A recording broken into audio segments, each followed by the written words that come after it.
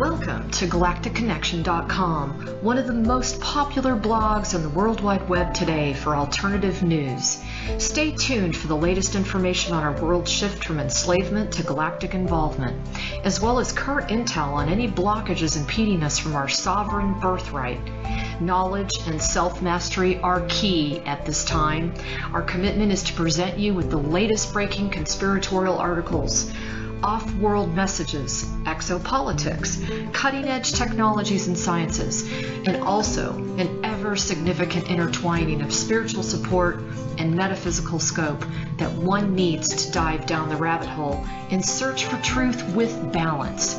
We are truly on the horizon of a new golden age filled with the promise for more love worldwide peace, and accelerated intuitive skills, where every living being can exist in cohesion and abundance.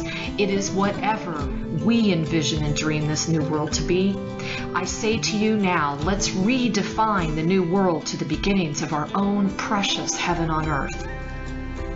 Galactic Connection is here to provide the pulse of Mother Earth through an eclectic range of interviews each Tuesday afternoon from 3 to 4:55 p.m. Pacific Standard Time, Station 2 on BBS Radio, expanding your perspectives on how we can once and for all take back our freedoms, our joy, and our connection with our mighty I Am presence. Our intention remains true to connect hearts and minds everywhere in order to obtain global unity and galactic and universal acceptance. Our discussions will continue to cover anything to do with galactic society and our involvement with our galactic brothers and sisters. Our guests are experts in their fields, and our radio shows have been coined as some of the most thought provoking out there. In addition to our daily blog, which runs 365 days a year, we also offer a realm of healing services such as our world renowned implant removal processes, our spiritual past life clearings, our galactic violet ray alchemy from Alexandra, who shares in the lineage of Merlin, and other cutting edge healing technologies. Check our site out at galacticconnection.com now, sending you a wave of light love, and inspiration, and a personal hug and thank you for listening to our Galactic Connection radio show and visiting our blog today.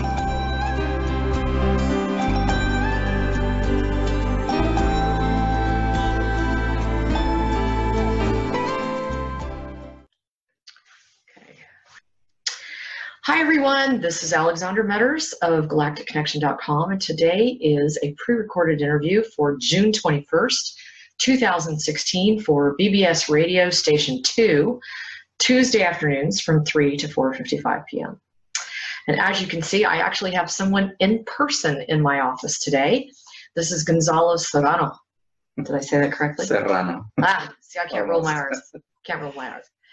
Anyway, uh, he has visited me. For those of you that haven't met him yet or had the uh, benefit of meeting him, beautiful soul, one who has contacted me over and over again, and due to the interference, we never connected.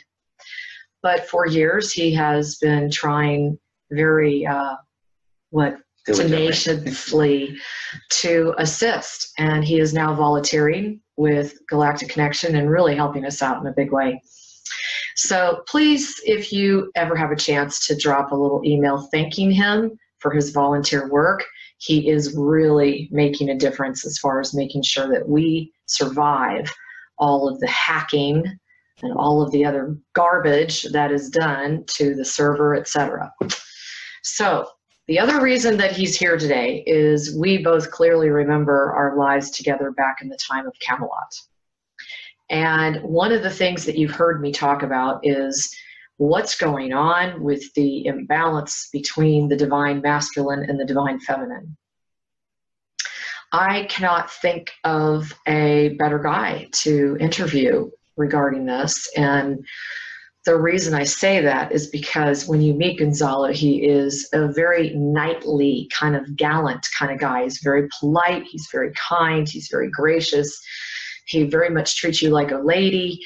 Uh, this is the type of male that all of us as women so desperately desire in our circle, in our environment.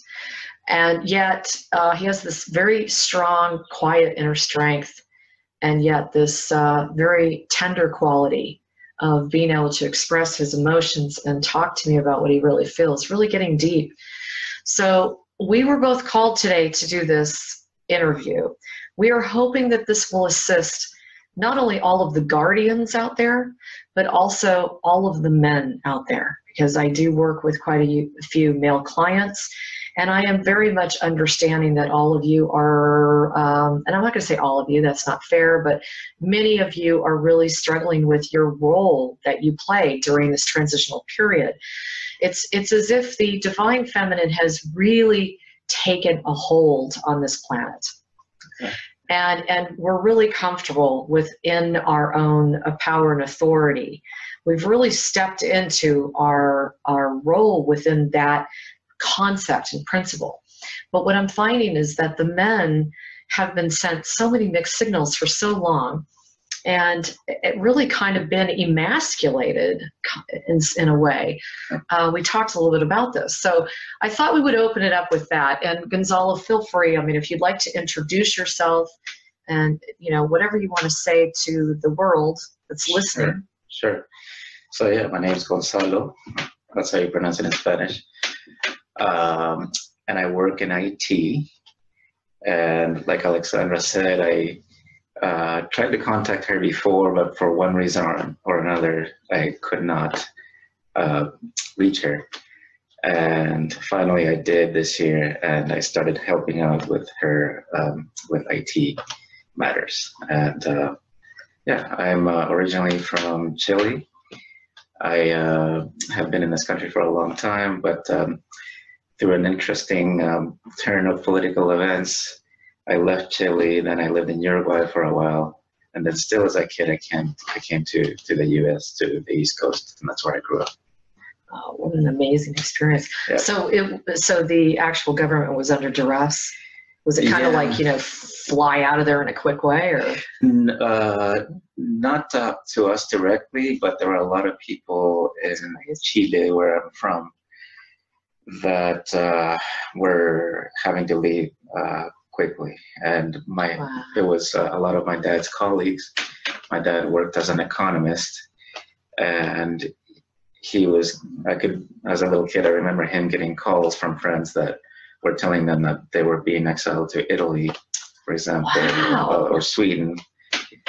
And my dad started uh, getting concerned because basically there was a dictator that came to power. His name is Augusto Pinochet yeah. or Pinochet. Uh, and some, I'm sure some of you listeners uh, would know about him. And this was around 1973. And so I think my dad realized that he was going to stay in power for a long time. Mm-hmm.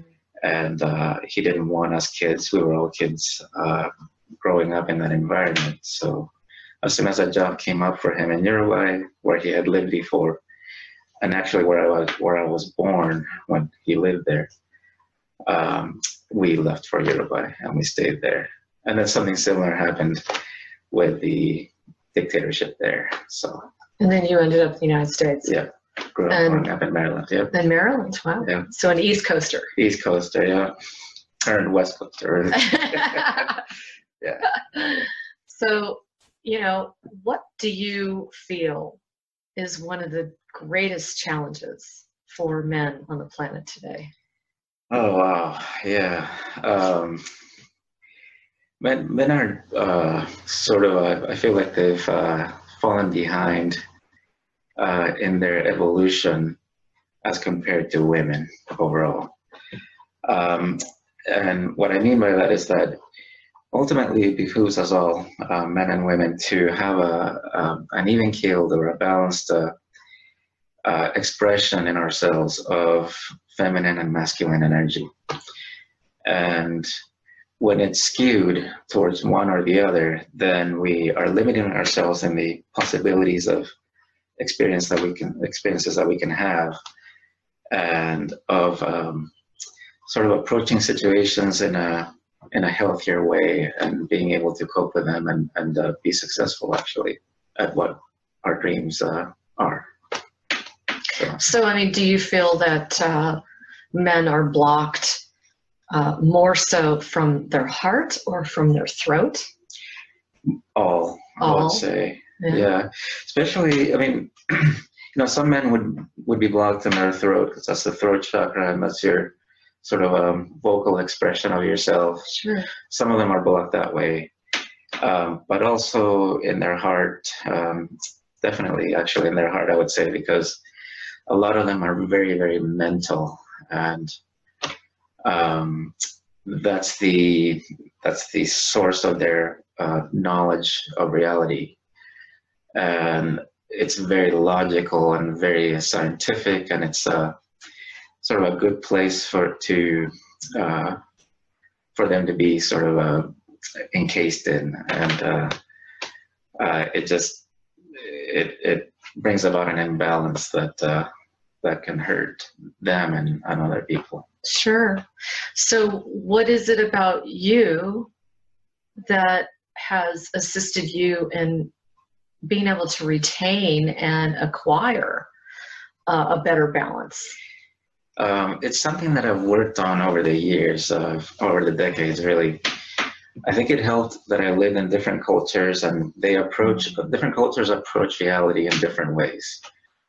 And um, having been exposed to that early on allowed me to come to some good conclusions that um, sort of served as the foundation for me to go on that journey of uh, exploring more feminine energy and, and sort of also settling into my masculine energy in a healthy way. Um, but it, you know, it entailed reading. I was, uh, I, for example, read Jung. Jung was a proponent mm-hmm. of uh, both uh, female and, and, and male sure. energies, uh, the hero's journey, and all those uh, books.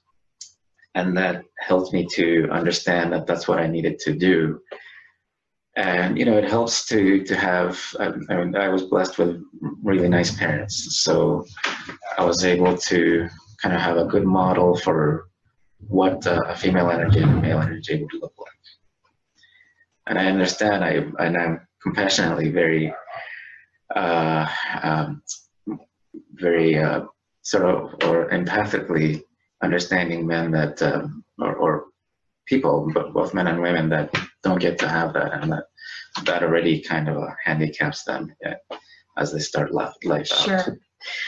Well, so if you had kind of a, a, a peaceful childhood with your parents, what did you feel was the reason that you've defined yourself as a uh, at least part of you is a guardian um, that's a good question actually uh, Thank you.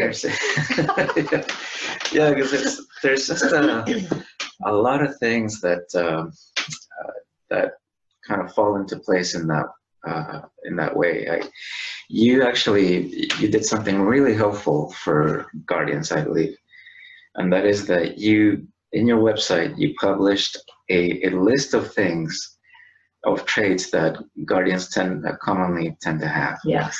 And so I actually, with my analytical engineering brain, I, I did a study of, of myself and those traits. And I, uh, in that list, I outlined which ones were spot on describing me, which ones were a maybe, and which ones were not describing me. And I matched them spot on about 70%. Wow. Yeah. Okay. So, That's a good indicator. Yes and that's what I t- tell a lot of people is, uh, you know, there are a lot of guardians that have extremely challenging childhoods. There's no question about it.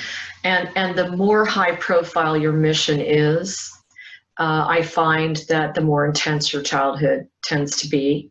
Either that, or you have come in as some sort of, um, uh, let's just put, some, you know, we have like a lot of different labels, and I don't want to label people, but it, it's just the best way to try to determine the soul family that we came in with. And uh, a lot of us, you know, if you're like a really badass warrior on the other side, you're you're gonna you're going to probably have some really intense challenges when you're a child because you came in literally to take down evil um, in this reality, in this matrix, in the planet, etc. I mean, this is the mother of creation, you know, that we're walking upon.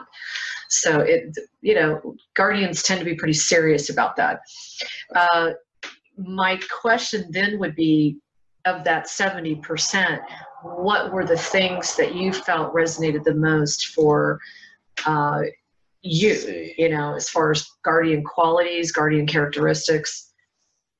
Um, let's see. Uh, so, the, having um, having an emphasis on impeccable integrity mm.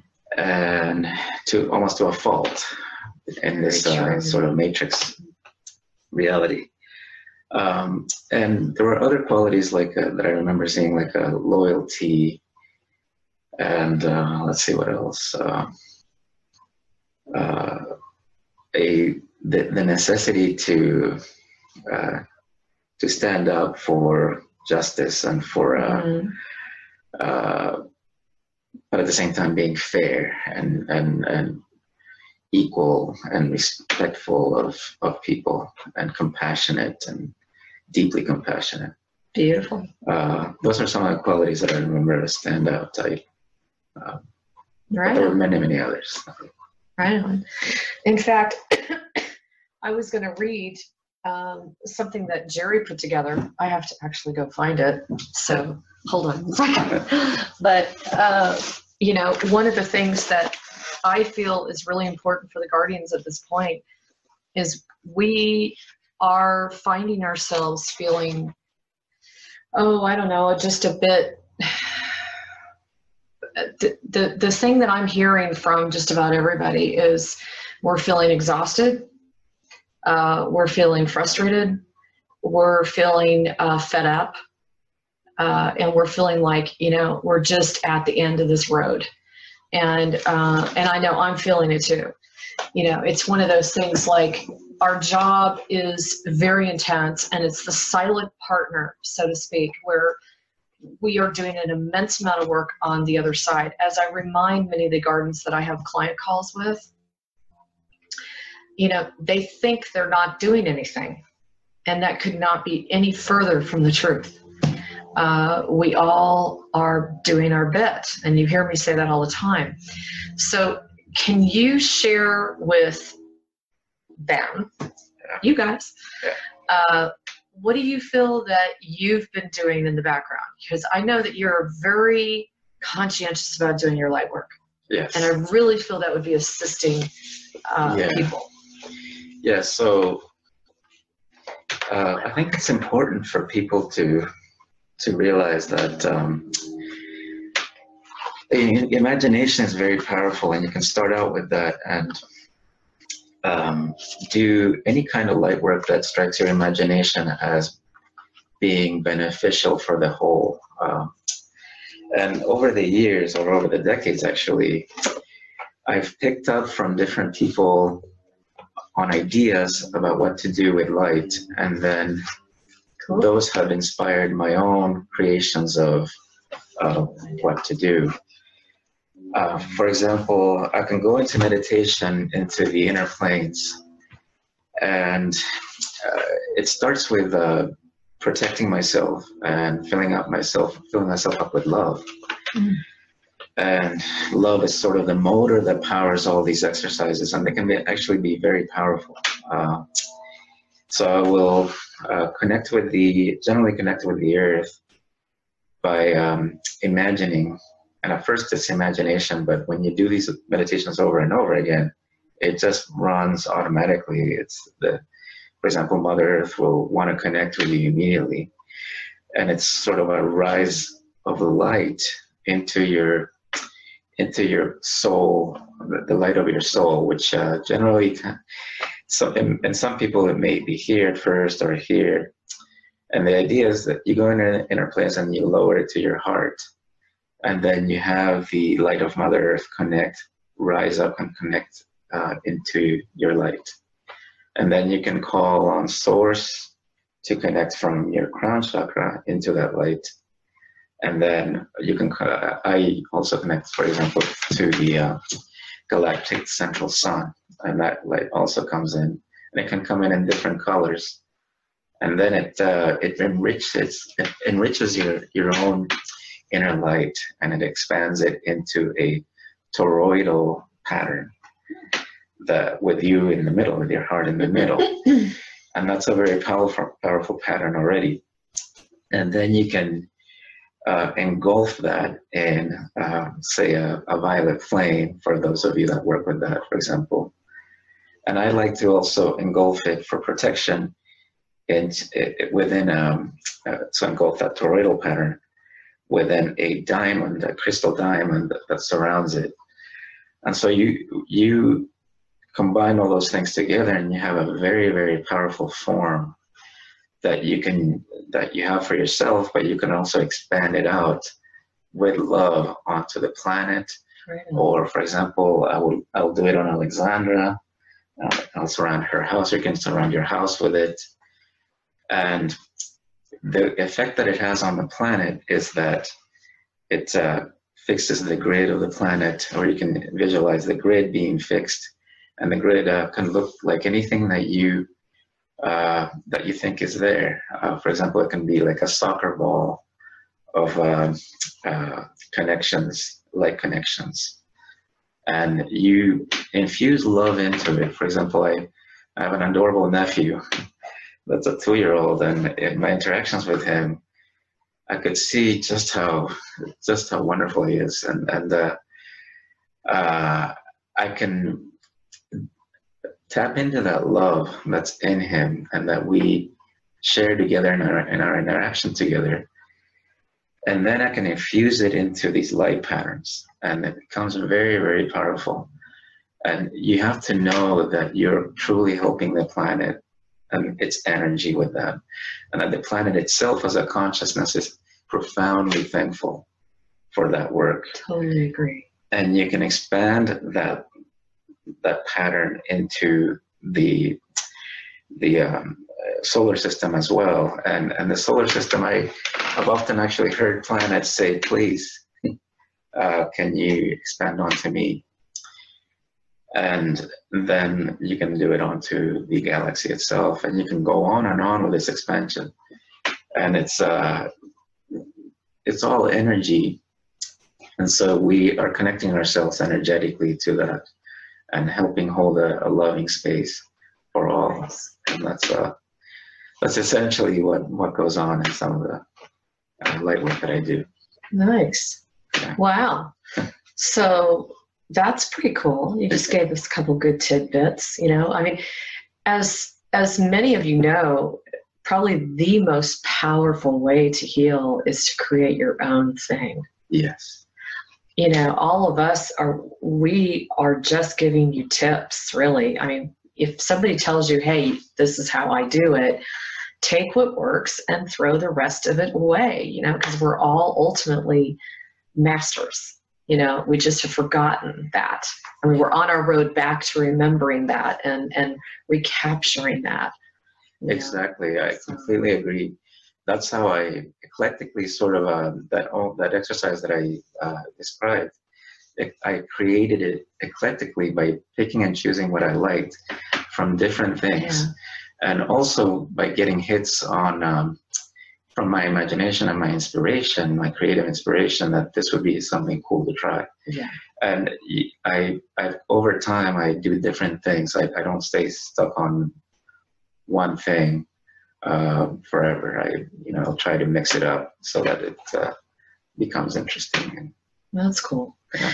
So, you know, you and I have had many lengthy conversations about guardians, and uh, we have a very strong need to reach the guardian population and to assist them. And this goes all the way back to the time of, um, you know, some of our memories back to the time of the Templars.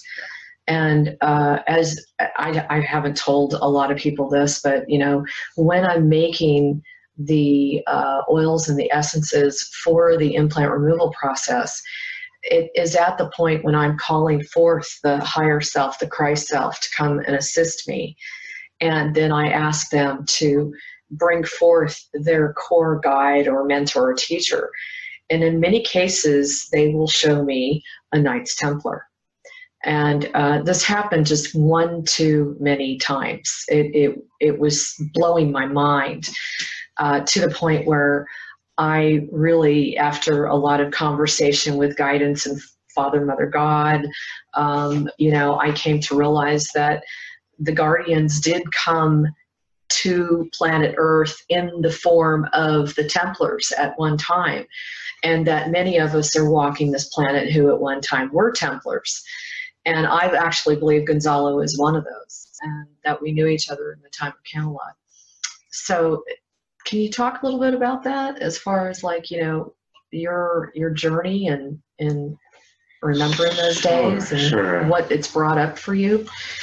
Yeah, so um, when I first kind of uh, started uh, realizing that that was a that was something that's in that was in my essence essentially was uh, when when I watched a, a movie called Excalibur in the late '80s, was it? Mm. We just watched that again. Yeah, We had a call to watch that. Watch that, everybody. yeah, It's a yeah. great movie.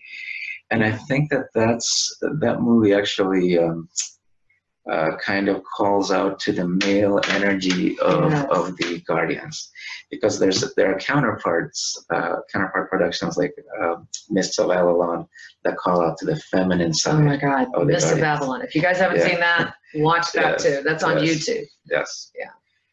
And both of those uh, movies uh, spoke to me very deeply. Me too. I cried. I cried through all of the Mists of Avalon. I couldn't Yeah. stop crying. Yeah, It's yeah, it was it was quite a. I mean, I, it was wonderful. Just the way that um, Avalon was uh, portrayed. Um, but Excalibur, for me, uh, for months on afterwards, and maybe even years, I, I really it was just uh, it's as if it uh, kind of um, uh, triggered a like a ball of energy within me that was like beckoning me to find out more and more. And over time, um, It's been Interesting. yeah, uh, over time, I've, I've read different things. Uh, uh, I've connected to different periods in history, and uh, you know, the Templars in France. Um, I had a sometimes aversion to certain regions of France, and sometimes uh, an attraction to to it. And it, it's different events in history that I, I, I, don't recall all of them. Uh, but there's also other periods in history that uh, I've connected to. And that's what I would urge the, the Guardians to do to uh, either read about certain periods or certain countries that attract you and see what uh, what you're attracted to or what, or what actually you're really repelled by. And chances are that you had an experience that connects to to um, that country or period in history. That's very true. So, what particular area of the world are you most attracted to? Um, France, both uh, Yep. for uh, both in a really good way or in a kind of an attractive way and, and in a very repellent way. That is so accurate. I mean, seriously, folks, you probably are saying the same thing. Yeah, You know, there's like this dear love, and then there's this almost, you know, like detest, yes, know, because of what happened there. yes. Wow. And you, uh, one thing that I one thing that I just remembered um, is that you, deep within you, you, if you're saying to yourself, um, "I'm a warrior inside," and and you it really like you're like, what you're you're saying to yourself, or at least I was, you know, what am I doing in this body? I'm a I can I can seriously kick butt. and, and I'm, I'm a warrior. But um, you know, in this lifetime, you may be doing whatever whatever you're doing. Um, but those are the kinds of sensations that speak to you from those periods in history or those uh, affiliations that you may have had. Um, so yeah. So, do you remember me? Uh, yes, I, I remember you. I'm, I'm very clairsentient, so there's a feeling, and, and I'm also very clairaudient. And I remember you in a feeling kind of way. Um, and at times I've looked at you and I've um, I've seen I've seen you in a different light, as a person from a, a certain time era, a certain era, Mhm. And realized, wow, this is uh, yeah, that's there's a I knew her then, and there's a connection there. Definitely, definitely. So, what do you feel? Because we've talked about this. What do you feel is the greatest challenge for the Guardians right now? I mean, especially right now, the the energies are so intense. Yeah, yeah, that's a really good question too because it it, uh, it sparks memories of uh, those uh, things that you listed and how uh, so many of us embody those things so intimately. Um, for me, and I think I suspect this is a, a challenge for many, is that as a guardian, you're probably adept at having uh, set up your life to your liking so that you, despite what you've been through, you're tactful and ins- insightful and intuitive enough to have made the right moves over time and figured it out. And figured out to the point where you can hide because essentially this uh, this matrix is matrix is so harsh on your energy that all you can really do is uh, make your moves to hide and you're really good at it by now and the i think one of the hardest things is to come out of that hiding um, and actually come into your full expression of who you really are what you've come here to do and uh, you know st- basically step out and doing that. Um, we you know we in our lives we when we're in hiding we may have you know we may have a good job we may have a, a good uh, situation that we've set up over time with uh, blood sweat and tears. Um, but it doesn't maybe speak to your mission. And you know that deep down.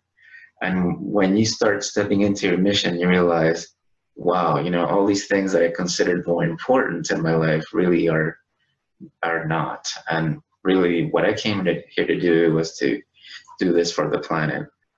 And you're able to um, when you're able to step into that then uh, it, it sort of snowballs into a deep um, uh, coming to know knowing of yourself That's beautiful. I would say, you know, what I'm going through, and I know it's directly related to the energy signature of being a guardian, is um, there are challenges in the fact that we are so powerful that we really catalyze people that are processing a lot of their own emotional body stuff that's just been stuck Yeah. and you know we've we've tended to uh, go through life you know as i've said in prior interviews with almost an inferiority complex you know it's like we can't figure out why this stuff happens to us because we didn't do anything. We could just walk in a room and get attacked or you know we could be at a party and, and make like a very neutral statement. I mean this just happened to me uh, the end of march you know writing a very neutral statement to an individual and man that just blew up all kinds of stuff. And you know i think as a guardian it's like so imperative to learn we have huge hearts. We've come here with an immense desire to serve. It's just like part of us. And we're also very wounded because we've been so targeted and hunted you know lifetime after lifetime. Like you said we're we're always hiding. We're hiding because we're so used to being targeted. And this goes way back. So right now what i'm finding especially with everybody that I've, that I've spoken to even in my own in my own life is that for whatever reason they will choose a guardian the people that are processing their own garbage. They will choose a guardian to spew their stuff all over. Um, this i have been hearing okay? And i just want to remind everybody that it's not about you it's not about you and it has doesn't have anything to do with you especially when uh, a very volatile relation uh, uh, response is is manifested. If you know that you've been completely in you know a state of like you're you're living your life you're living in your own alignment you know you're you're putting out love and so i just want to remind people of that but the other reason i'm bringing that up is the energies are so ramped up right now and we continue to talk about how uh, there's a compression going on.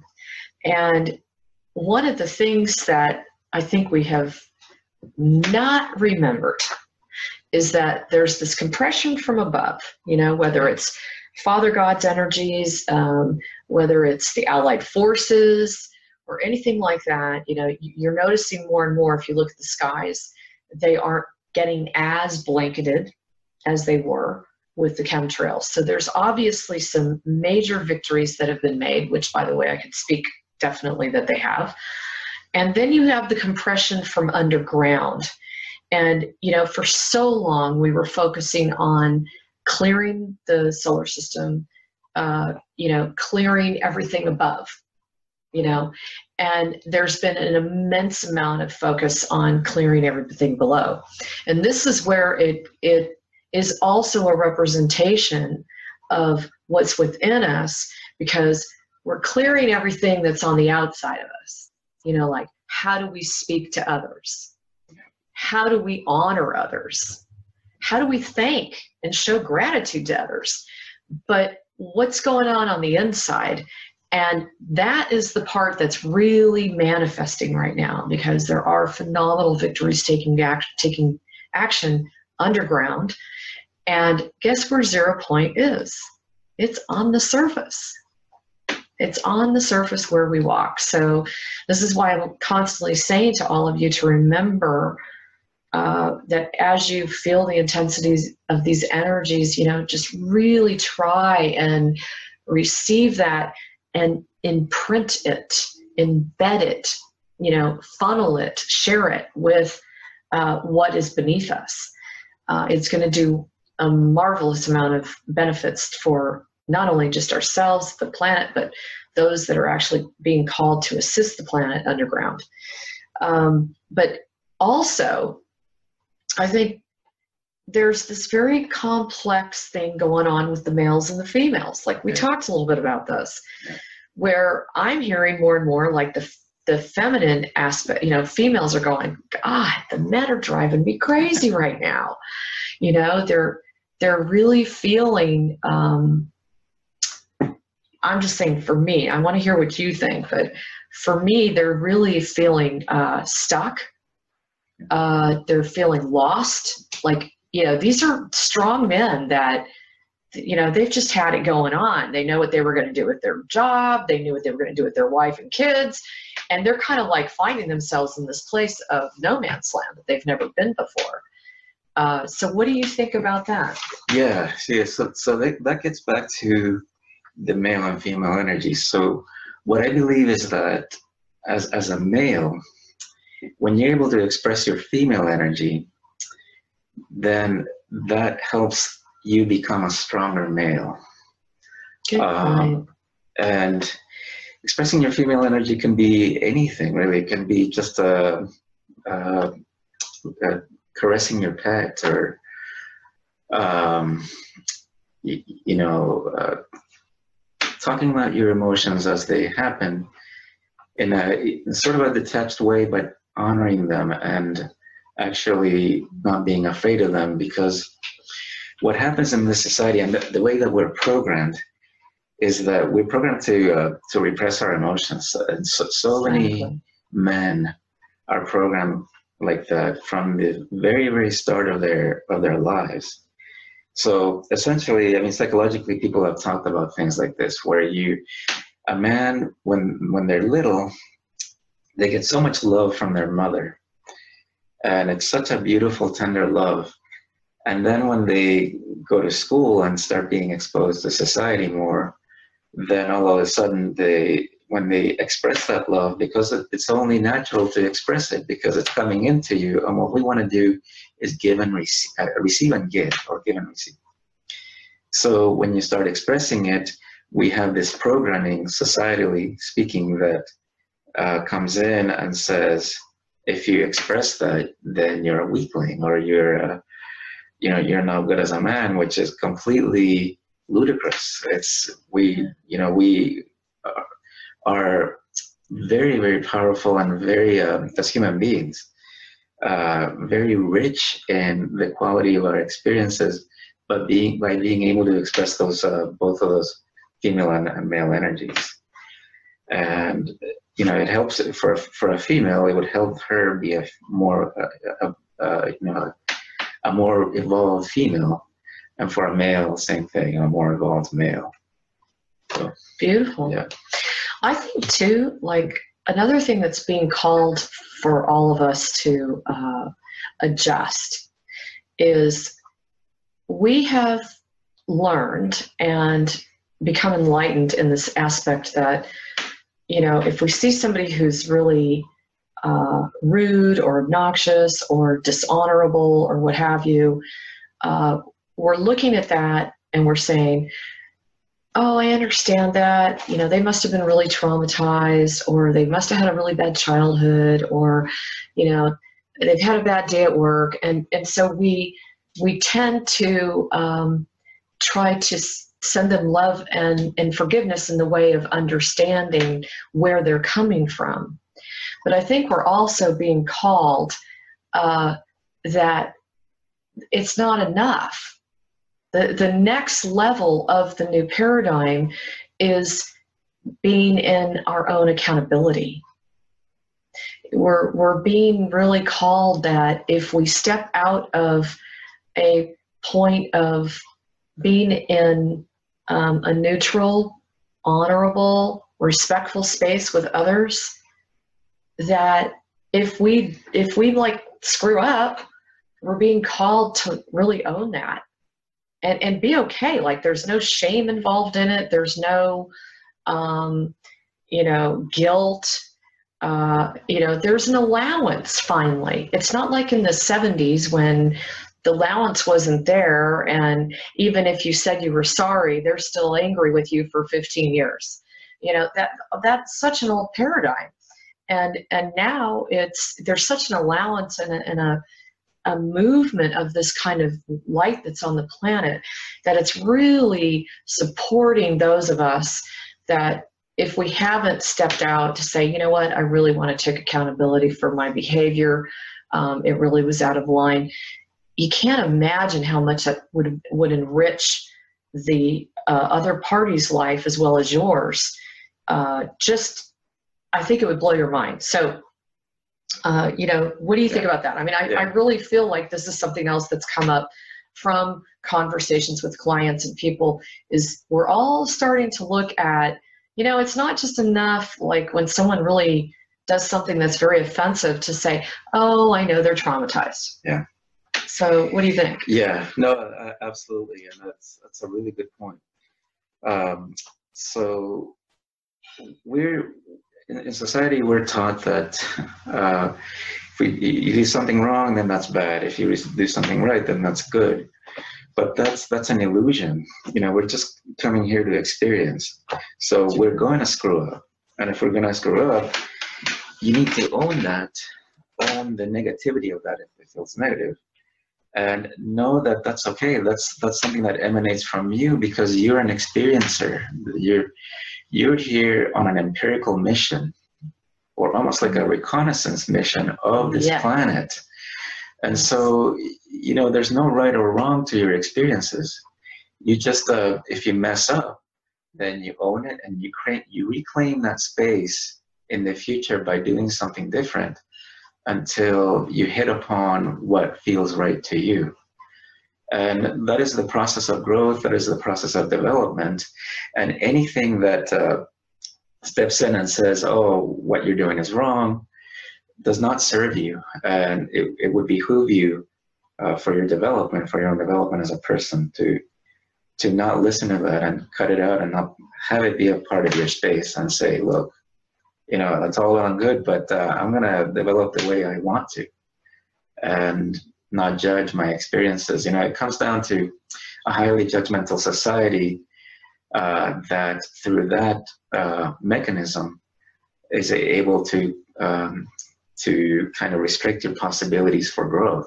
Because once you start not labeling things as good or bad or uh, painful or or pleasurable, say, then your uh, then your possibilities for experience start opening up and then you're able to have a much greater field that you can work with in order to hit upon what you really are what you really need to do what your dreams are and etc and all these things that uh, that are part of growth that we can potentially have as human beings mm. and fast especially now in this time when uh, things have accelerated and so that growth is um, is right for you to have even faster this time around.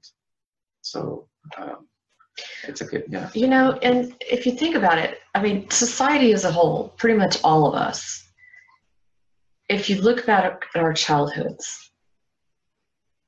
how were we taught to make amends? We by saying sorry or but then we walked away. We were either forced by our parents yeah. to say you better say you're sorry to your your sister or brother yep. which didn't work yep. because you weren't coming from your heart. And you oh. weren't like really coming from a position of love. Or the forced thing. Or you really came from a position of love but then there wasn't like a support in society to receive that apology and, and really go god they really are sincere they really want to make amends and they want to never do this again you know yeah. um, but yeah.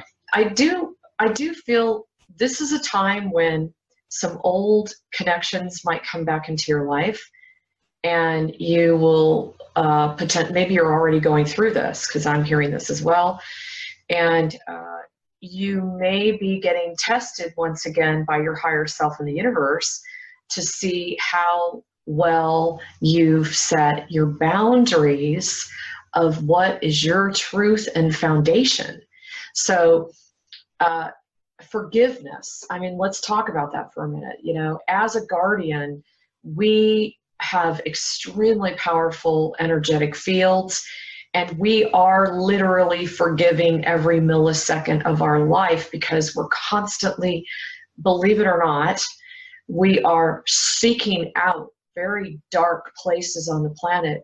And because of who we are, the way we're wired, we're automatically zoning in on how can we transmute that darkness because we're here to serve creator and mother so we don't even think about it sometimes which is what gets us in trouble in the first place is we get ourselves up to our eyeballs in very negative situations maybe um, where we have our heart say i already know this person is really unstable or they're kind of like very negative or what have you.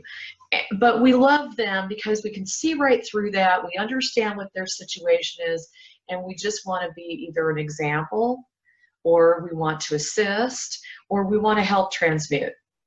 Yeah. I mean, it just comes naturally to us. Yep, exactly. I mean, the, the one of the traits that um, when you were asking about traits, uh, another one of these traits is that we want to give people the benefit of a doubt. Doubt. Oh my God. And so that's that's really really at, at our core. And so we immediately that comes with wanting to see the beauty in, in someone and someone else. And often as guardians, we can. We immediately home in on it. And so we feel that um, we're able to hold space for them to uh, for them to develop uh, into that or, or come into that um, beauty on their own and we're able, to, we're able to help them with that. But what often happens is that we get taken advantage of in a way because we let it happen because we are so we're very, we're so powerful that we can step into a high degree of vulnerability in being able to help uh, these different people, and they ultimately have to help themselves. Um, and often through a process they will they, you may be you may be able to get them to do that somewhat but uh, they may end up or often actually end up uh, taking advantage of you and then you you. step too far. So boundaries is uh, something that we are also working on as guardians to to be able to uh, set them appropriately, and actually kind of troubleshoot that a, a bit, or, or, in your experiences, uh, kind of a, being able to determine, okay, you may miss a certain boundary with somebody, so you tweak it, and with the next person that comes with a similar situation, then you you you set it more appropriately to to preserve your your beautiful space, basically.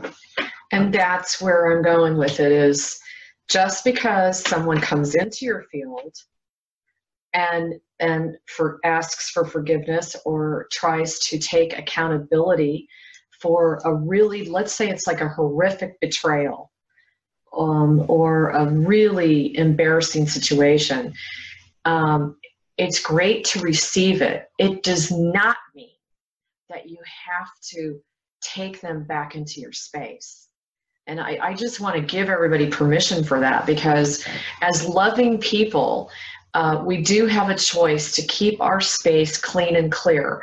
If that individual has not worked out certain things that are going to continue to kind of muddy the water within your space, you have every prerogative just to make the decision, you know what, this isn't going to serve me.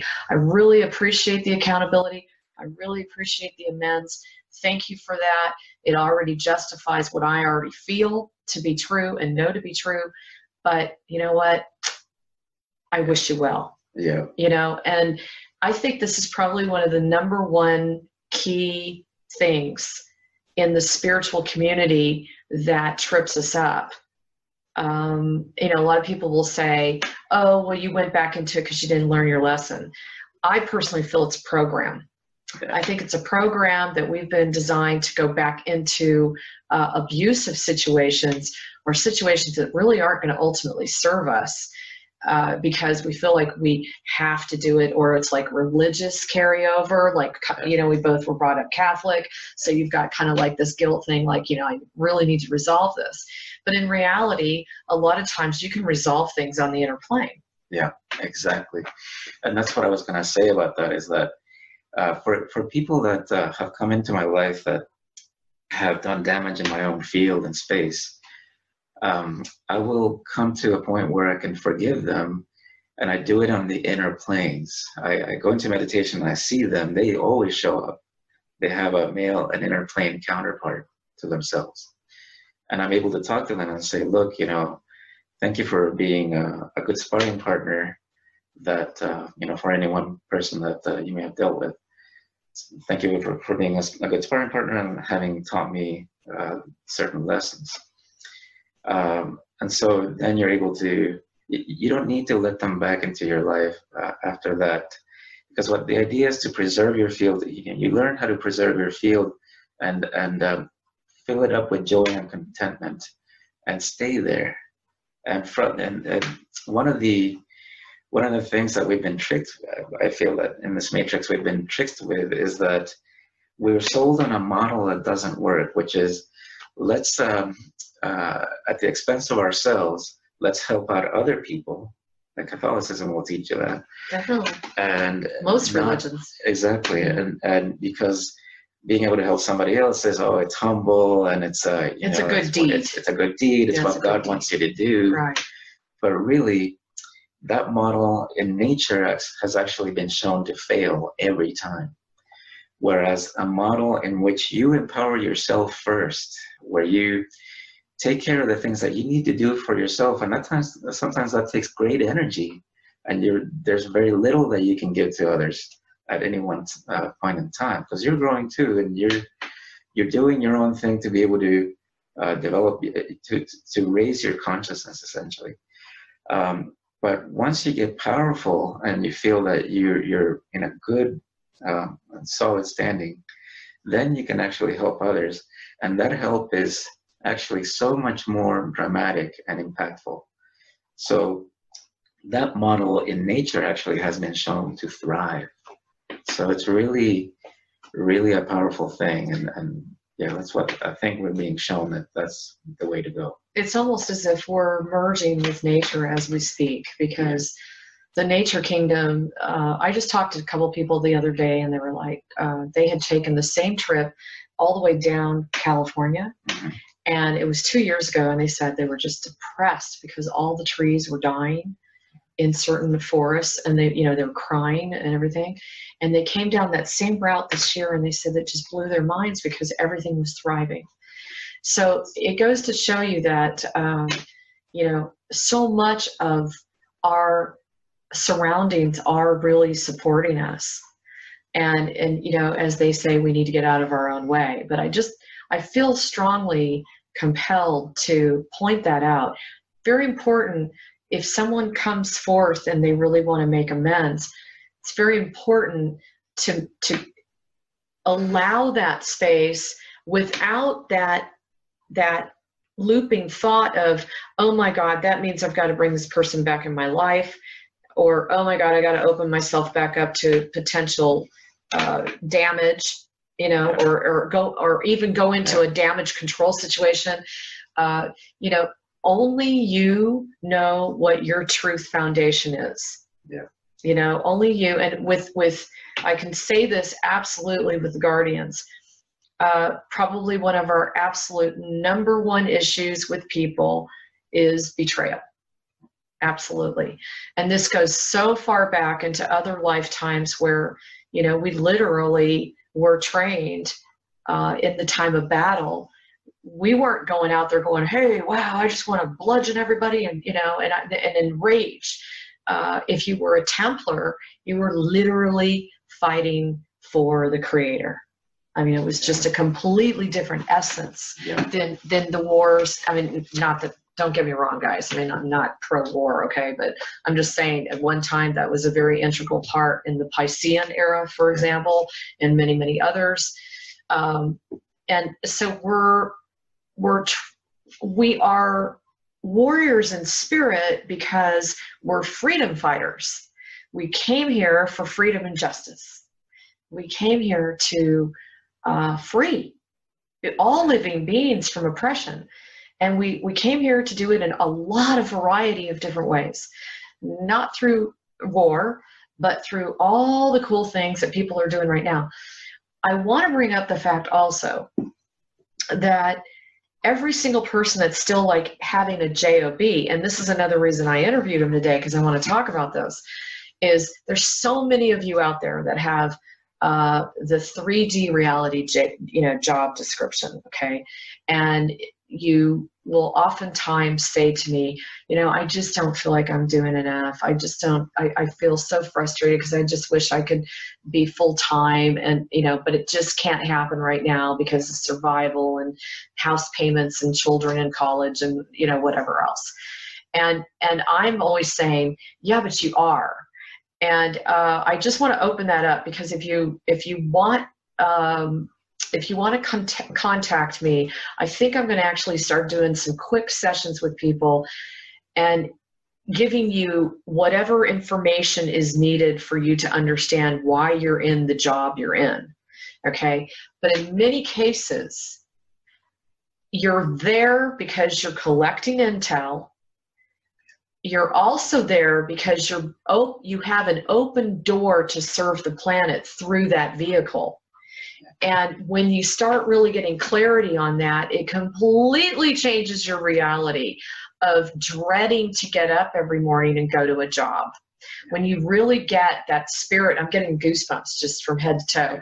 When you get the fact that uh, the creator and, and source and all of life is is providing you a tool and you look at it as you're going to use it to be able to attain what you really want to be doing um, it just it's a totally different way of responding to your life huh? Yeah. So tell them about how you do that with your job yeah exactly. That's a that's another really good point is that so we're in these regular jobs that we think, oh, we're you know we're so disconnected from society and from being able to make a, a visible difference.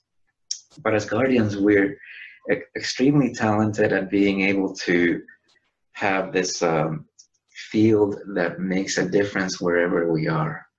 definitely So definitely um, and in unseen ways, you know, um, we first of all we we've been programmed to um, to have low self esteem by Mhm. society. So there's stuff that is constantly harping on that. And we don't, you know, so we come out saying we're not making a difference, you know, we're stuck in this job. But really, you are. You are. Uh, you just by your very presence, your very lo- your the loving heart that so many of us have, if not all of us, um, creates a field around your work that people are changed by. You should know that you're making a huge difference already just by being here and just by being where you are. And in fact, it's quite likely that you've been strategically placed where you are because you need to make that difference that you're making where you are. And all of us are in different jobs, and we're thinking kind of isolatedly that uh, you know we're lost, that we're not connected to to the greater whole and, and, and making enough of a difference. But when you are, we're all working in concert in our own jobs to be able to make the differences that are needed for the planet. So whatever, and, and if you decide to to become uh, even more powerful than you are and, and go on a mission uh, or step into your uh, what you believe your your the greater expression of your mission is, you are that's like gravy to, to us. It's even more power that you're infusing into your already very powerful role in, in your job. So, you know, uh, what I would say is, you know, don't put yourself down for for being where you are.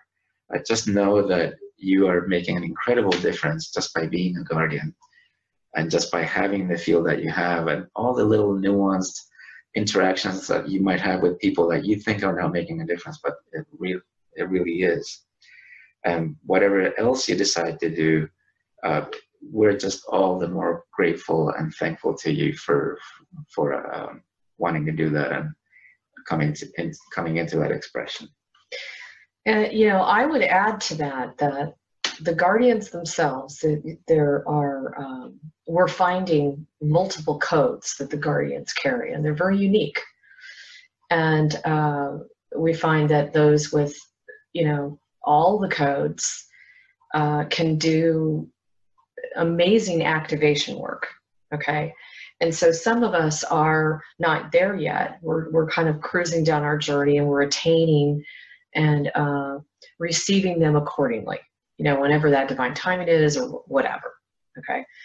But what I've also noticed is our, our first of all, like you said, our mere presence is already catalyzing uh, change like we are changers of our immediate environment we now when you get like i have four guardians in my house right now oh my god i mean right yeah. i mean we all had to kind of like leave the house because it was so powerful um and, and it's a good powerful but it's it's one where you know you kind of have to like acclimate to the radical uh, change and the way that we're catalyzing, you know, just even the way we think. Uh, maybe it's a different expression than what we ever thought we could do before, you know, just something even silly like that. And, but I think guardians themselves need to understand that because of our immense, powerful energy signature, and because of our ultimate drive there's like this this deep deep drive uh, to represent freedom in some way okay? And that can that can that can show up in a multitude of different ways. But because we have this just it's almost like uh, you know it's screaming inside of us. We have to do something about it. And and you know you're a guardian if if, if you feel that like i you know you hear me say that all the time. Uh, you know, as uh, Jeff was telling me the other day, um, that that whole Kali energy uh, of you know wanting to destroy evil uh, and making making it okay that every living being is living in joy and harmony. Yeah. So that's our role that we play. You know, uh, a whole bunch of us play all different types of roles, but that's kind of what the guardians do. So, what comes with that? I mean, if you're all about freedom and justice, guess what? You're going to have some uh, energetic challenges and backlashes for any kind of darkness that's opposing that. Exactly, right? exactly. Um, we're we're so you know freedom is to us is so sweet yes and you know you're you're we're so um, honed in on that inwardly that we're going to get those challenges because uh, it can happen in any kind of a situation like in traffic or, or you or you may not run across a, a rude uh, person uh, in, in your daily life. And and you're thinking you know I, I really don't like the nasty energy that came from that rude person.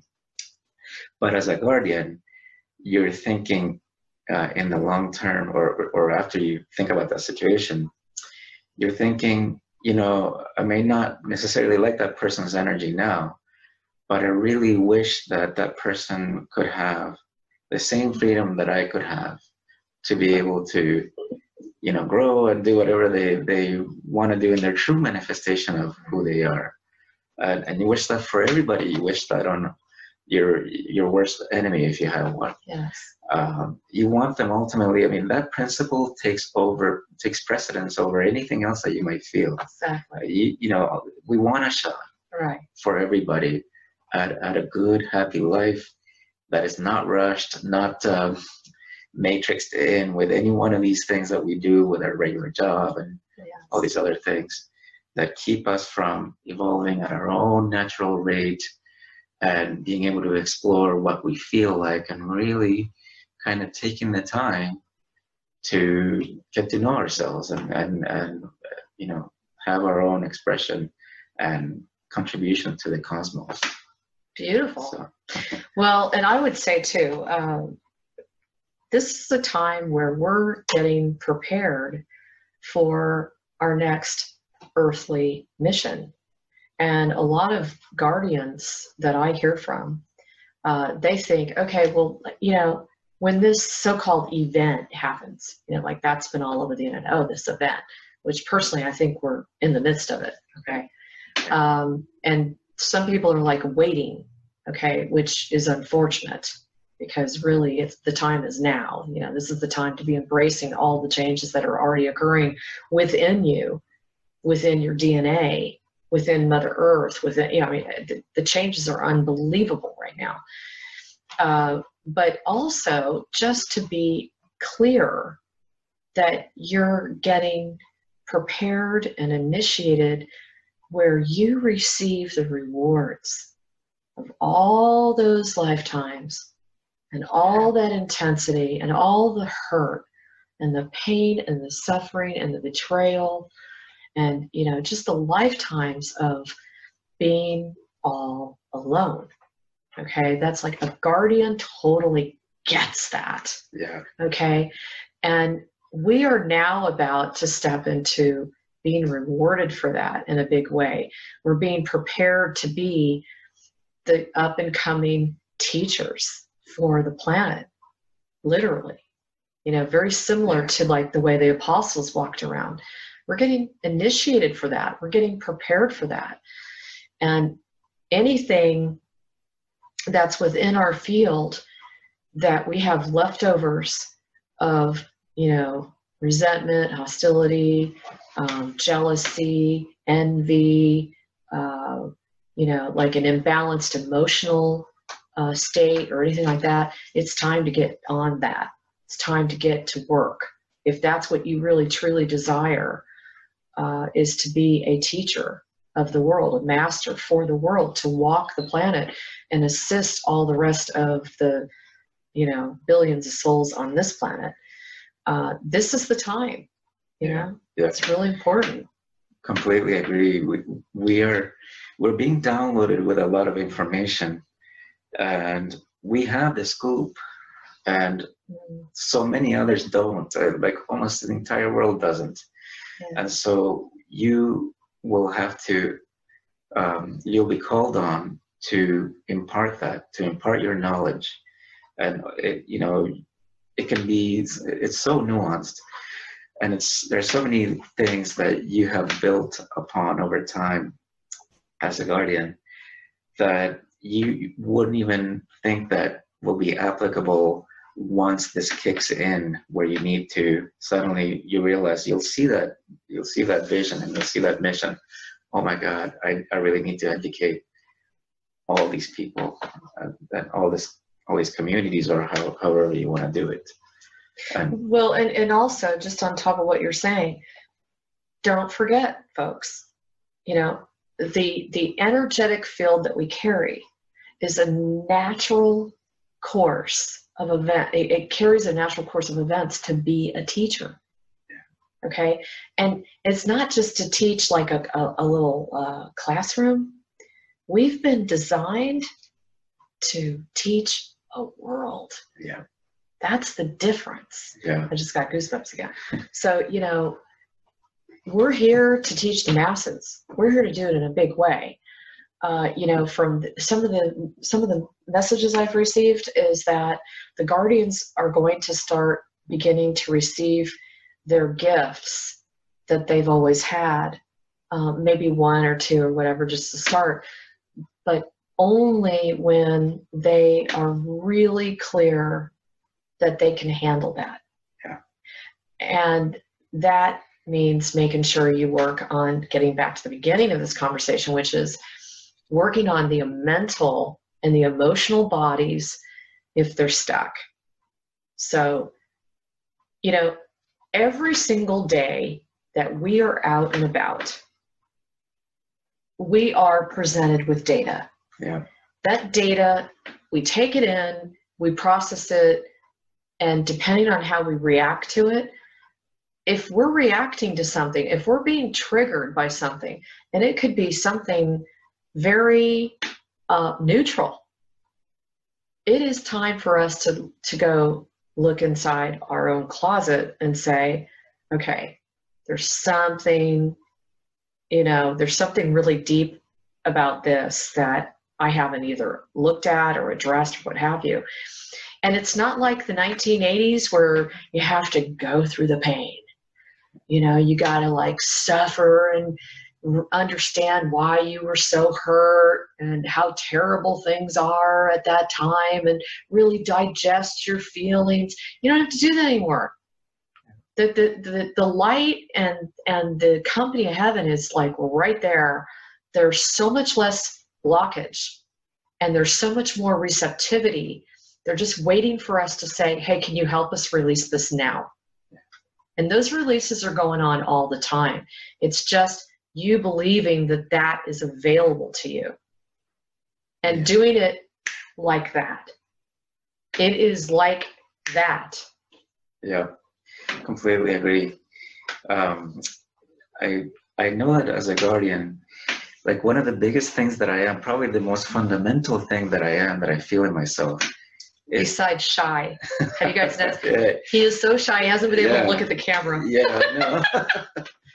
I know, you know, and this is actually uh, for me as a guardian, it's a stepping out exercise. Yeah. So it's a, uh, you know, it's a big deal for us to be able to do that. Um, I, I, was gonna say about teaching though that uh, I had the the, um, I guess the fortune to have been a teacher in the 1990s.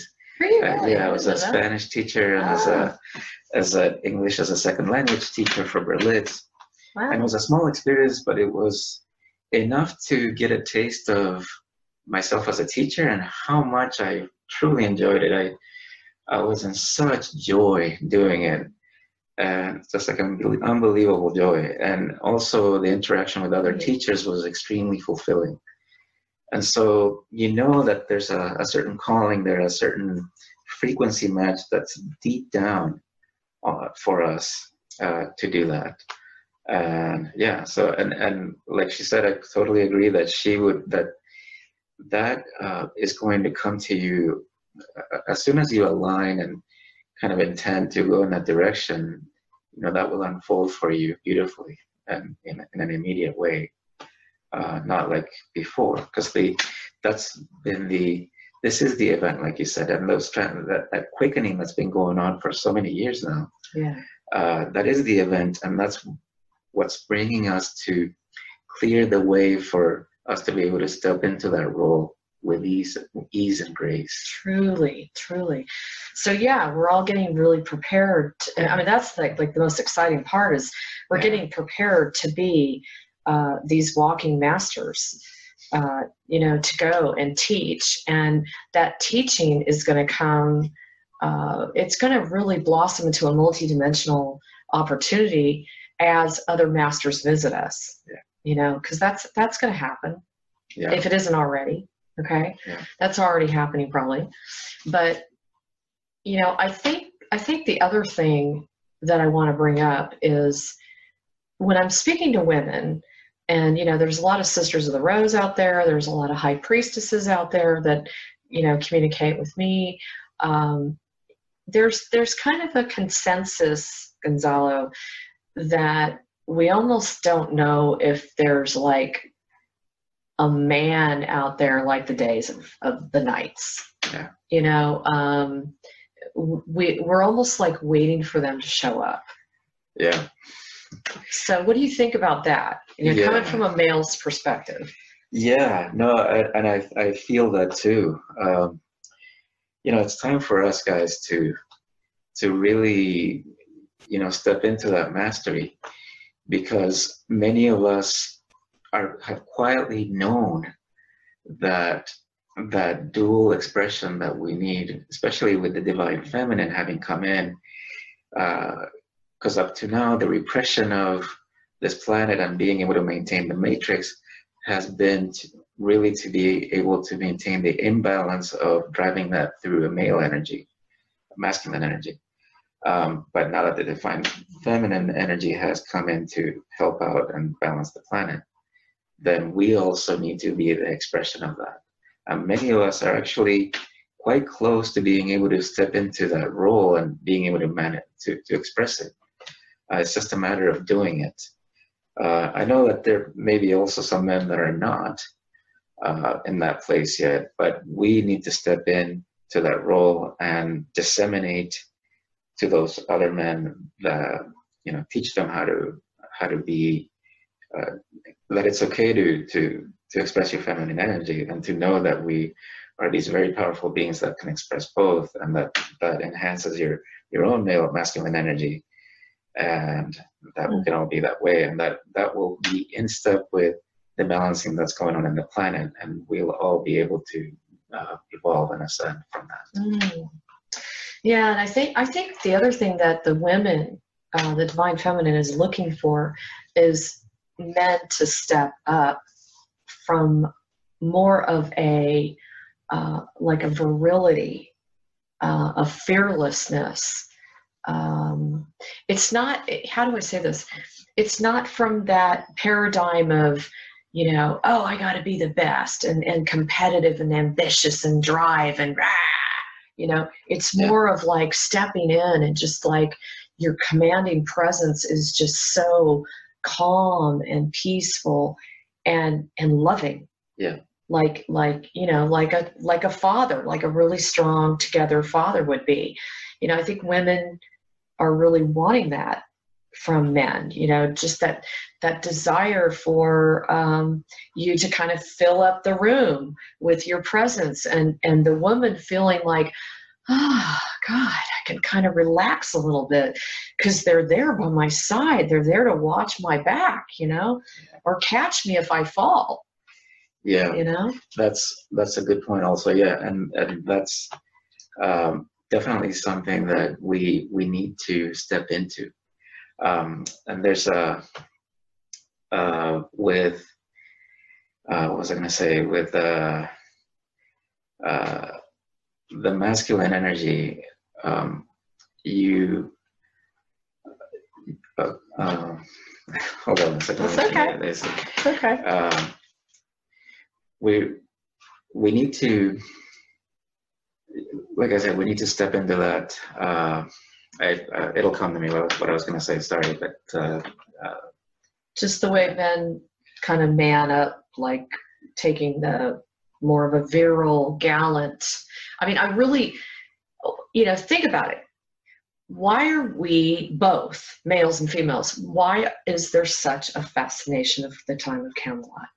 And you first of all the uh, the way it's presented in all of these different depictions is maybe not even necessarily true but that whether it is or not it still is a period of time that there's such a fascina- fascination, there's such a love, there's such a drive to bring that back home. You know, just the, if we all believe that Camelot was ultimately the the the life of truly all males and females just working completely um, cohesively together. There was no hangups, but at the same time, the men very much allowed the women to be just as strong, just as you know involved.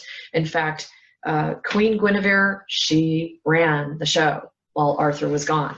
Yeah. Okay, and uh, and and the men were so confident in their own right of who they are in their own individuality their own identity that they were okay if there was a strong woman in their presence and yet they still never hesitated to honor them as a lady. Yeah. They didn't look at it as a subservient connotation like some men do today. Exactly exactly. So, so okay so i totally remember what i was going to say uh, so because there, there's an important paradigm shift here.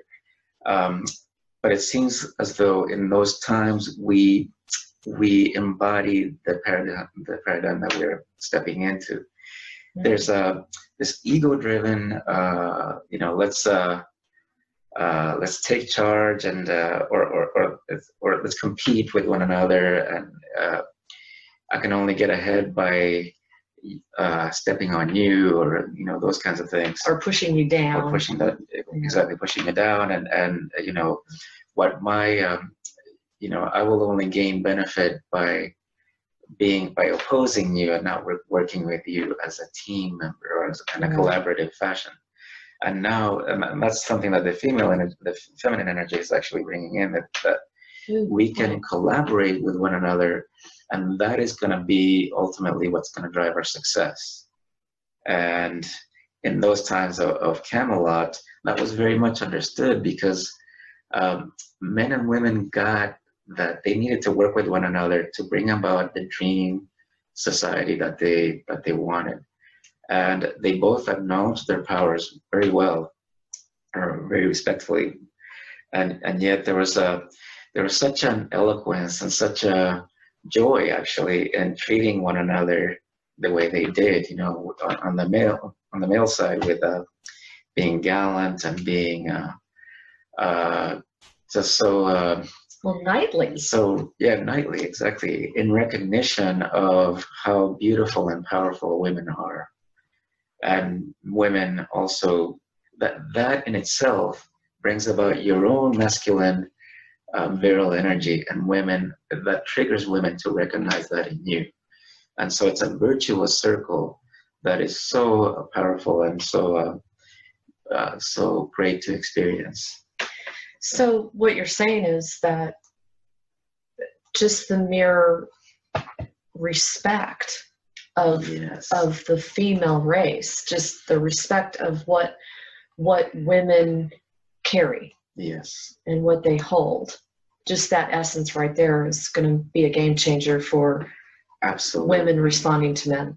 Absolutely. That's, that's beautiful. Yes, I mean, you have to recognize just how powerful the, f- feminine energy is and, and, what women can bring forth to the table. Mm-hmm.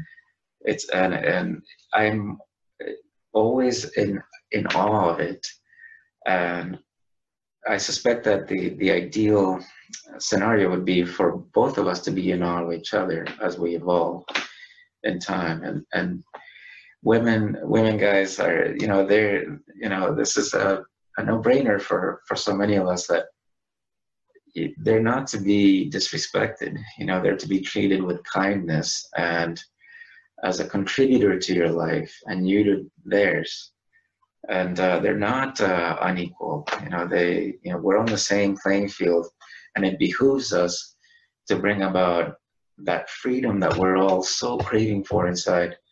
Uh, it behooves us to treat them equally and to work with one another and draw out our strengths. Um, Good as point. We see it in, as we see them in one another.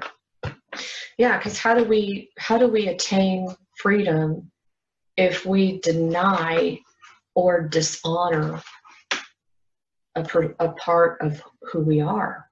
Yeah. I mean, if we look at our chromosomes and if we look at our DNA, I'm made up of stuff from my father and my father's lineage as much as my mother's, you know, and and uh, we have definitely divine feminine and masculine pl- playing within each and every one of us. It's just a question of what percentage and what ratio you have going. Yeah. And everybody's is different and cool, and that's fine. Yeah. Um, but you know, we can't do one without the other. Yeah. We just can't, and we've been we've actually been conditioned to believe we can. Yeah. We really have. And that is the wrong conditioning, really, Yeah. for bringing about what we want for for ourselves, for society. Uh, that's or or it's uh, you know without trying to use labels as wrong or right. We want to hit on what works, and that's that does not work. You know that brings about these uh, imbalances in which women are are not treated with respect and that hurts all of us it doesn't just hurt them you know that hurts you just as much Yes. uh, you are essentially uh, punishing yourself when you're disrespecting women uh, and i just cannot stress that enough. And uh, that to me is such an elemental and basic thing. Um, but i realize that maybe you know people uh, will need to think about that and, and, and start to bring it in. Because I really believe that that's what's going to make a difference in us um, uh, in us being successful and bringing about the society that we want. Yeah, the divine masculine for sure, stepping up Yep. to that role. Yep. I think, you know, I love men and I do. You know, my dad was one of my best friends and one of my best friends growing up for 22 years was a male. You know, I just I get how they are tick they tick basically just being around them all that time from the time I was a little kid. Uh, I think I think I would turn that around to women too. I mean, it's just so important and imperative that we learn to honor the challenge and the difficulty that they have in their journey. I don't even know how to say this, but it's like we have broken free. I'm not saying on a physical level that, you know, I mean, obviously we have prostitution, uh, we have, you know, women being sold off like chattel, uh, you know, so on and so forth.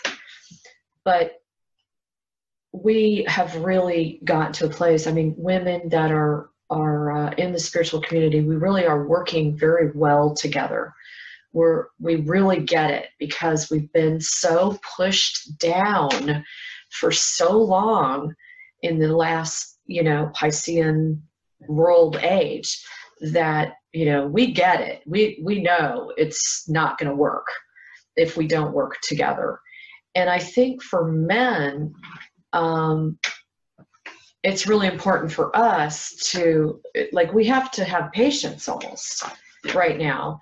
But also look at them not just with compassion but understand that it's how do I say this, Gonzalo? It's almost as if that has that was a huge sacrifice on the part of men to to be programmed literally where they've they've they've virtually been isolated from the heart of a woman if you Yeah. know what i mean um, i'm not saying like we don't have relationships and that we don't love our wives and and that kind of thing but i'm talking more like that really deep connection that that openness to be able to have a great cry.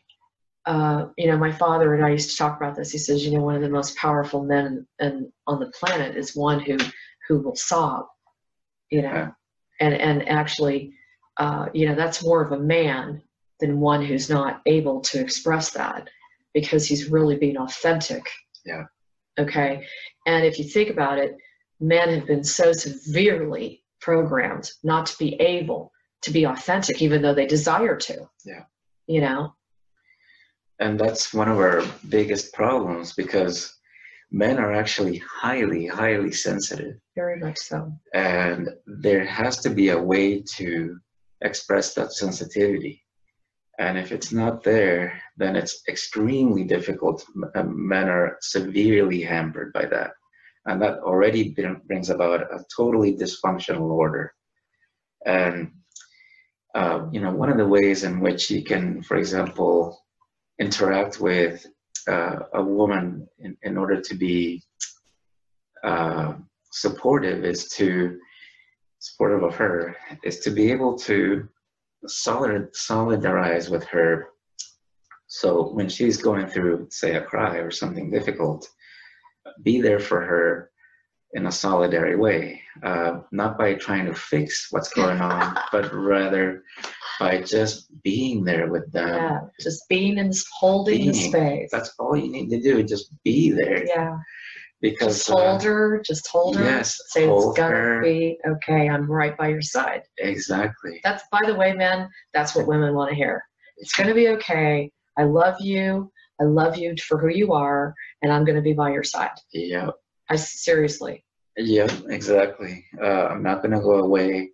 I'll be here, and I or I understand exactly this you. I sympathize with your plight. But you ah. don't have to fix it. And in fact, no. women don't want you to they fix hate it. that. Yeah, they, they do. They don't So like it at all. No, that, that So you know, true. you're totally missing the point by doing that. Even though, as men, we've been trained to do that so much that it's the immediate thing that we that we do. And even when you're, even as we're trying to be supportive and being there with them, we're still our, our brains are still churning to see how we can fix the situation.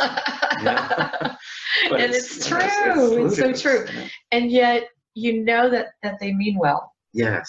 but it do, it just kind of throws fire, Yeah. or, or what do you call it?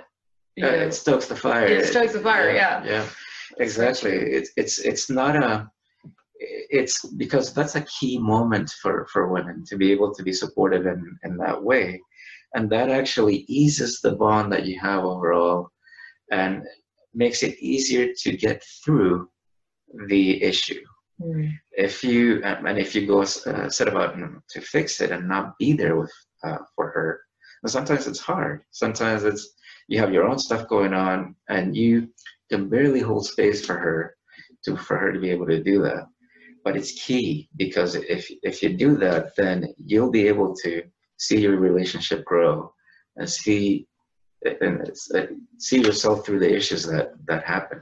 Because she'll do that for you too and you may not even realize that but she's doing that for you and she's helping you get through stuff that way.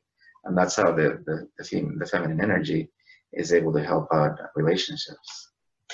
I think ways. I think too, uh, men don't feel like they're allowed to or that they should emote and let their hair down and and um, you know maybe cry, you know, and just release that emotional part of them that's just all tied up inside.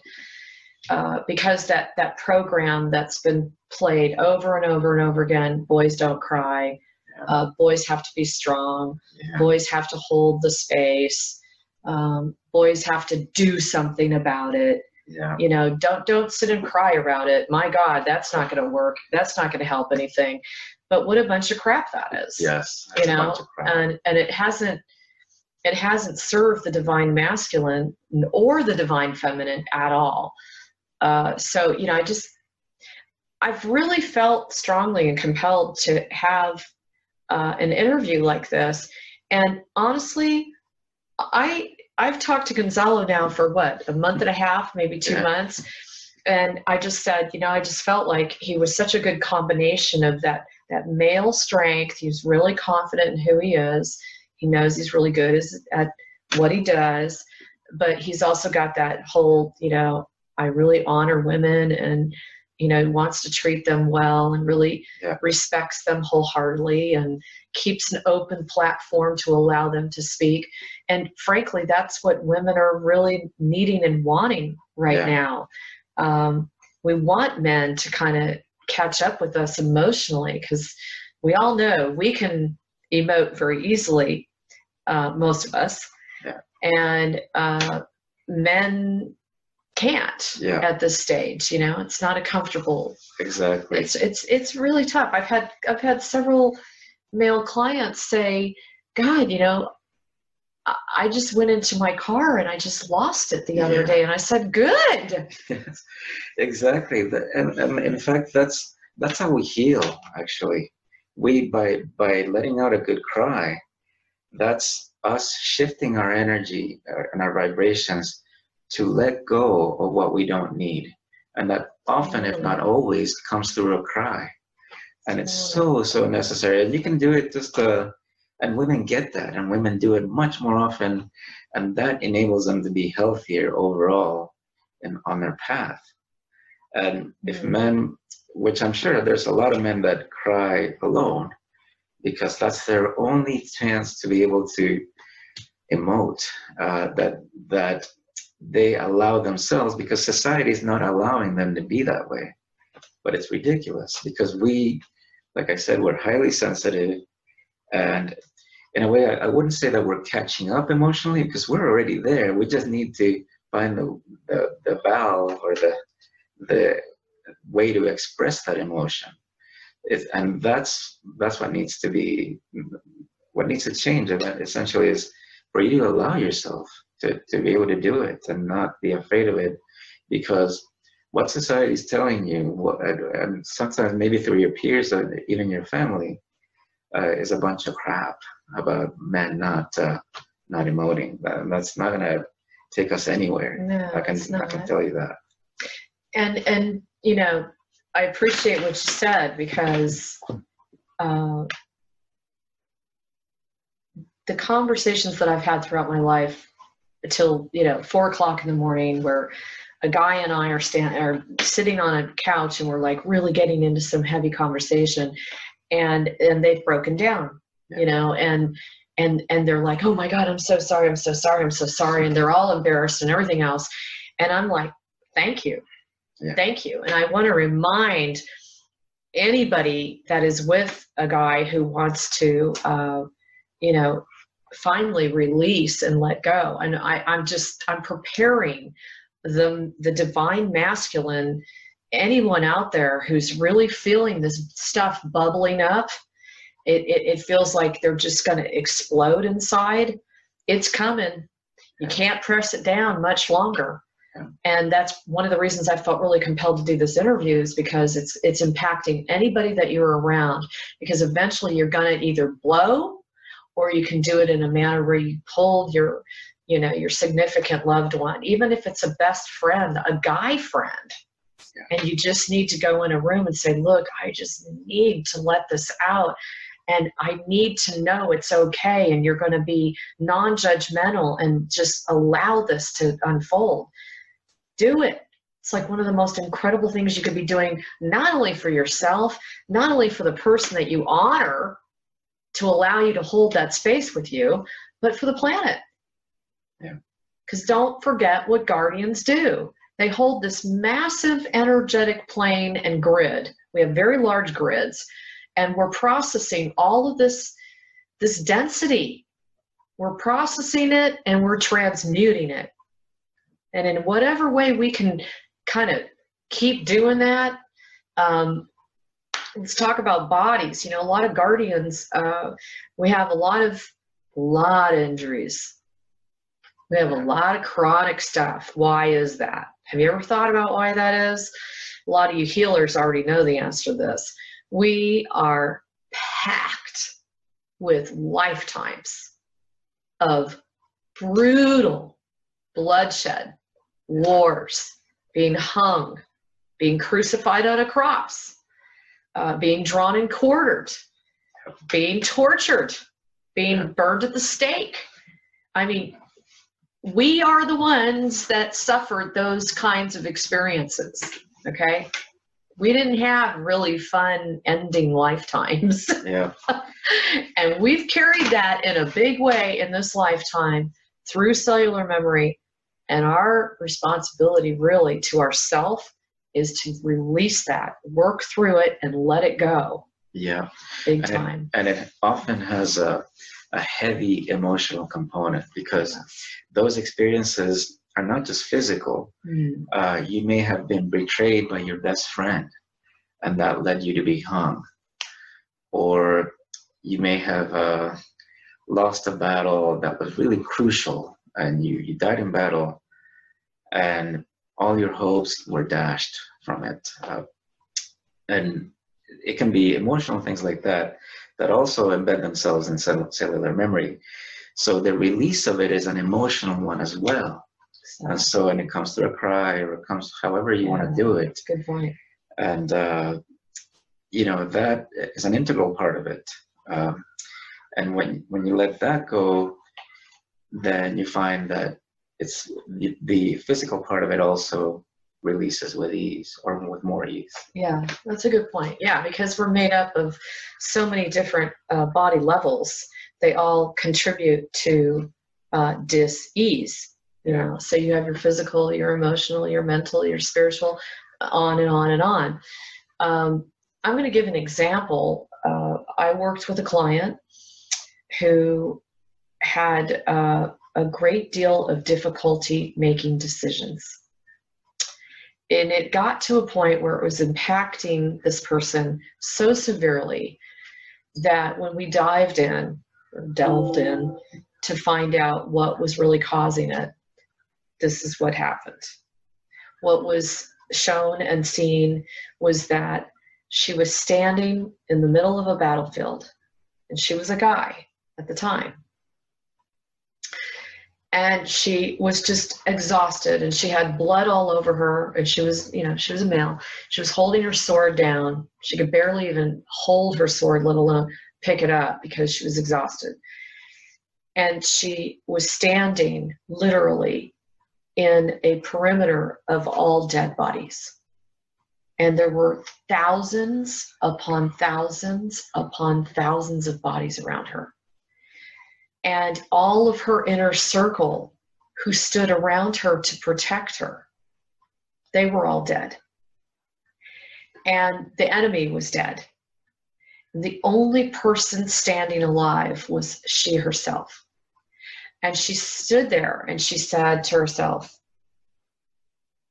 How could this have happened? How could this be? She reviewed all the things that brought her to that place when she was leading her troops. She went in that morning and put on her um, her you know she got her sword and her attire for the battle and everything looked into the mirror and breathed like a sigh of i don't want to do this because i already know what's going to happen and apparently those higher up really heavy handedly gave her, you know, which was him, a, a final, like, you have to do this or else. And she knew in every fiber of her being that this was going to end up a failure. And what happened was the intel that the higher ups were given was sabotage. And basically, the intel was to, to lead them into this particular location where this camp was so that they didn't have a prayer because they basically got into a valley and they got trapped. And she stood there at the end of her, you know, of the battle, and she looked around and she's like, I can't do this anymore. And she killed herself. So she, you know, basically leaned over and uh, stabbed herself in the gut, you know, and, and, you know, to kill herself with her own sword. In this lifetime, she's had nothing but digestive issues. Countless. I mean, she's she's done all kinds of diets. She's done all kinds of um, I mean, you name it, every therapy that she can possibly imagine to clear this. But that is what the ultimate underneath it all was. So that shows you how powerful a past life will affect the health of this lifetime. Yeah. And you know, uh, if you if you can't get through this and you need assistance, Galactic Connection has a gazillion different tools. We have Galactic Energetic Solutions, which is coming online, which is just flipping amazing. Okay, it's like consciousness based technology that's working with already the healing abilities of myself and others. Um, you know, that's a possibility. We've also got a couple healers on board. We're hoping to bring Gonzalo maybe on board in the future. He's a yeah. healer. Um, you know, so my point is don't underestimate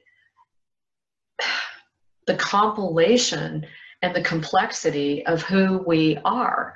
We are carrying a lot of little, a lot of different memories, a lot of different timelines, a lot of different planet timelines.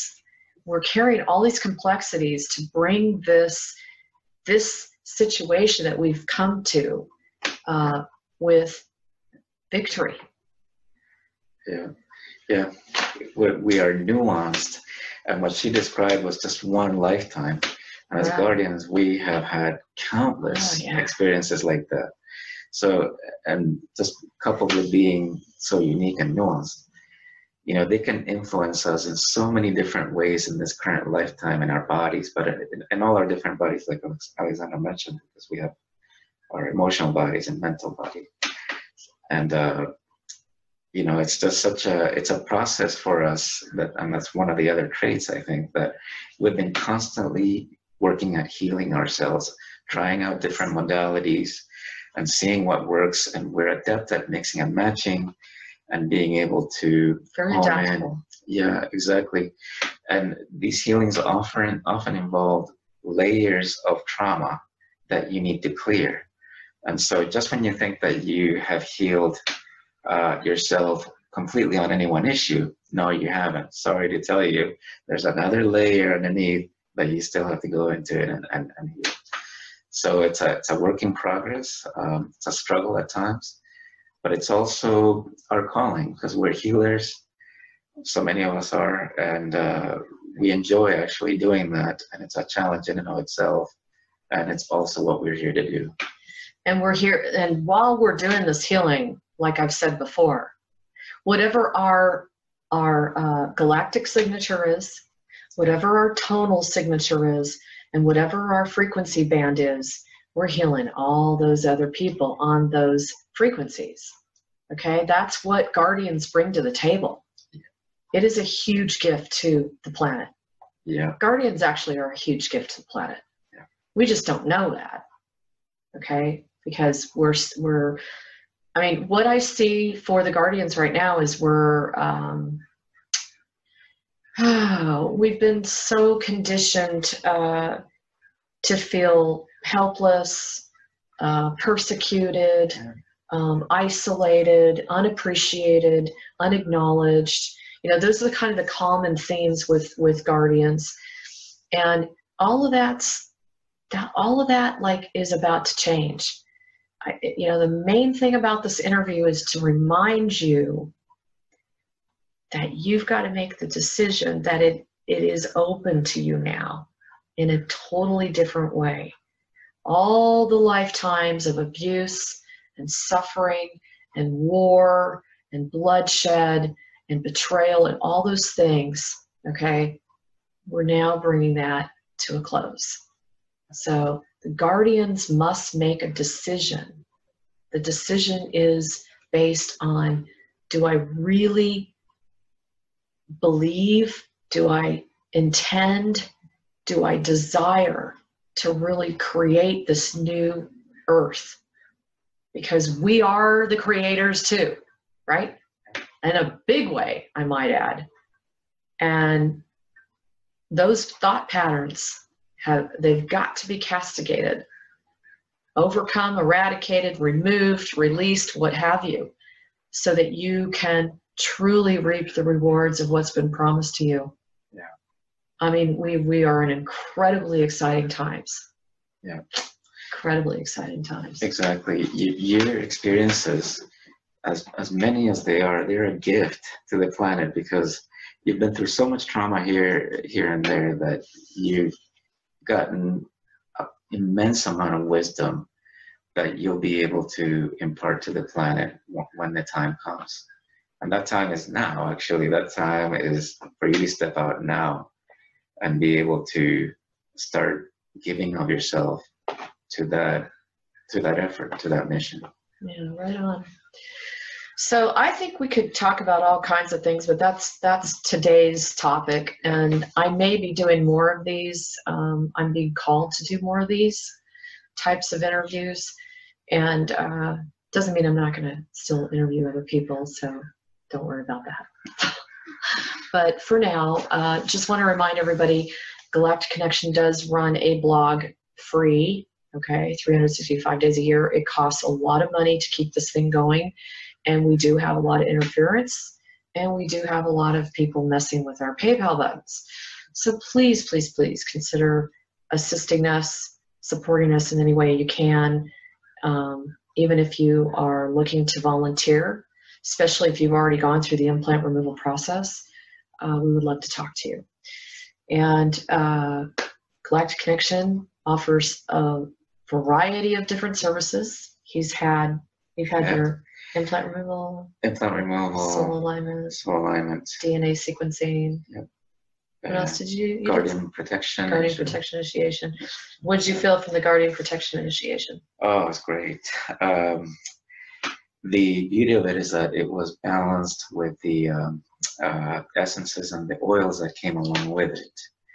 And I was able to step that much more into my mission and be mm able to clear some of the obstacles that have been there that kind of repeat themselves. Uh, you know, self-talk that you can't do it seems to clear away, and that's that's what I took from it. Good. It's a really powerful process. Yeah. If you haven't checked it out, definitely check it out. Um, and then we have the uh, past life clearing with Jerry Yuska. That's a really interesting process. That's where you're really going into all your different lifetimes. Um, and with that one, I make personalized essences and personalized oils. So it's like very specifically made just for you, just for your blueprint, you know. Um, but anyway, you know where to reach us. We, as always, are here to serve, and we love you, and we love all the guardians and all the ground crew and all those that are there just walking alongside us to get this job done. So uh, please continue to send in any questions maybe regarding divine feminine, divine masculine, uh, you know, like challenges and concepts, because I am feeling like this is something that we're all talking about a lot. Yeah. Uh, I'm hearing it a lot from people. And I hope it's helping you as much as it's helping me, because then when I talk to him, it helps me. So I figure yeah. it'll help you. Yeah. so anyway, take care. Uh, don't forget to check out on BBS Radio. You can hear this, or we have iPod.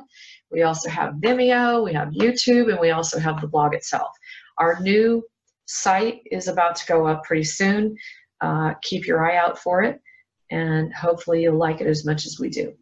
So lots of love. Namaste. I'll talk to you soon.